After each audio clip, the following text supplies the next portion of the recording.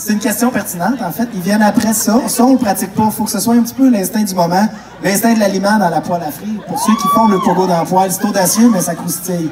Si jamais vous vous demandez qu'est-ce que c'est, faire le pogo, petit Claude, je vais vous l'expliquer de la façon suivante. Imaginez l'aliment qui saute.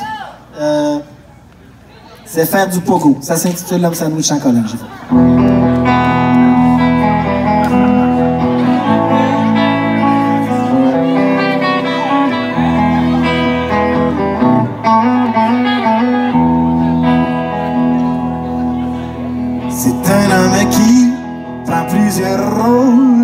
polyvalent.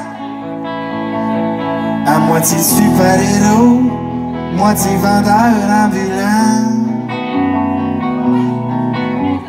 Quand on lui pose des questions sur sa profession, il prend un air confident et dit Je suis un homme sandwich en colère.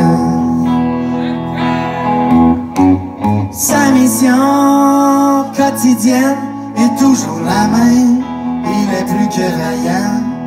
Des chiffres jaunes sur sa bedaine, il attire les gens. Il a un grand super pouvoir comme un aimant. Il peut faire tourner toutes les voitures dans le stationnement du tigre géant. Ça va dans vous en!